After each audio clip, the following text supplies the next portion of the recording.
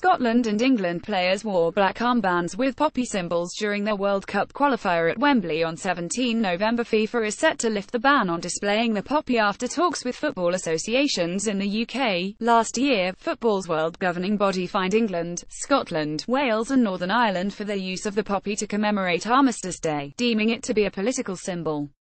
England and Scotland wore the emblem on black armbands during their World Cup qualifier at Wembley last November. Wales and Northern Ireland were fined for displaying it in their stadiums.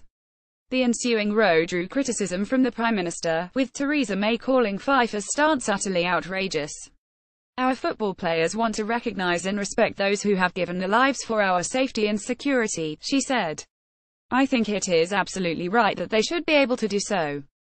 Last week FIFA is understood to have sent out a draft proposal to its member nations with revised provisions that could see the poppy permitted if opposing teams and the competition organizer for the relevant match both accept its use in advance. Who, what, why which countries wear poppies? The new law is expected to be passed in time for November's international games, which are to be played between 6 and the 14th of November a period that incorporates Remembrance Weekend. England are set to play Germany in a friendly at Wembley during this time and it is understood the German FA has no objections over the use of the poppy. England players are now expected to either wear armbands with a poppy on them or have the poppy embroidered on their shirts in the same way as Premier League teams. The match will be given the go-ahead provided both countries avoid the World Cup playoffs. To do so, England need to beat Slovenia at Wembley next month to secure automatic promotion while a draw is enough for Germany against Northern Ireland at Windsor Park. The FA declined to comment until the decision to change the game's laws has been fully ratified. Sports Minister Tracy Crouch said she was pleased that FIFA is finally going to apply common sense and change its position on poppies.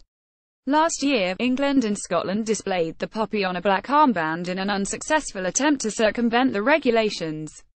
That echoed similar actions in 2011 when, under now departed leadership, FIFA permitted England, Scotland and Wales to use armbands.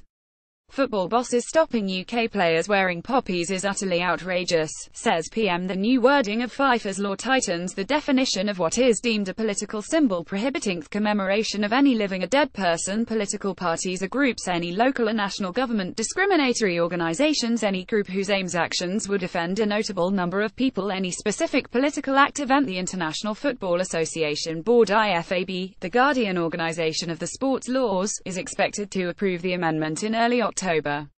The issue looked likely to be pursued in the courts at one stage after FIFA sanctioned the UK's football associations for using the poppy late last year.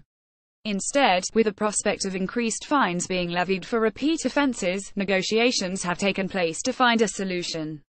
The emphasis will now be on competition organisers, such as UEFA and FIFA, to determine if a particular symbol is political under the new regulation.